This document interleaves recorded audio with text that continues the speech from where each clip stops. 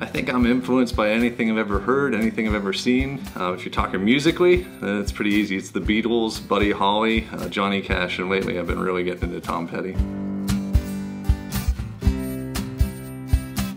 Mm, it'd be a hunk uh, Hunka Hunka Burnin' Love, or maybe uh, Chocolate uh, Nick. I'm actually a serial killer. What I mean by that is I eat a lot of cereal.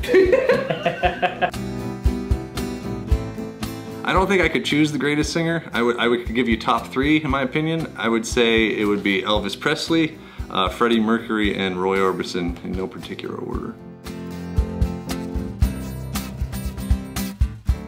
I don't know.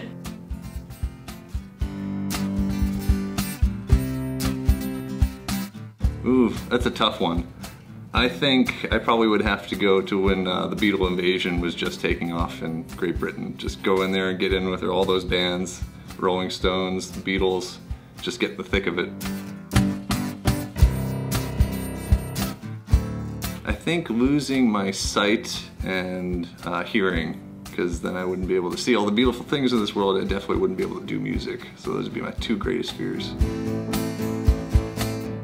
between the covers and the originals. I think for me, believe it or not, it's actually Boy, because uh, it's a song Stephanie wrote, and I felt like we were just discovering our sound and uh, where we were going musically, and that sort of was uh, laying the, the runway, so to speak, uh, for where we were going. So that one has a, a spot in my heart, I suppose you'd say.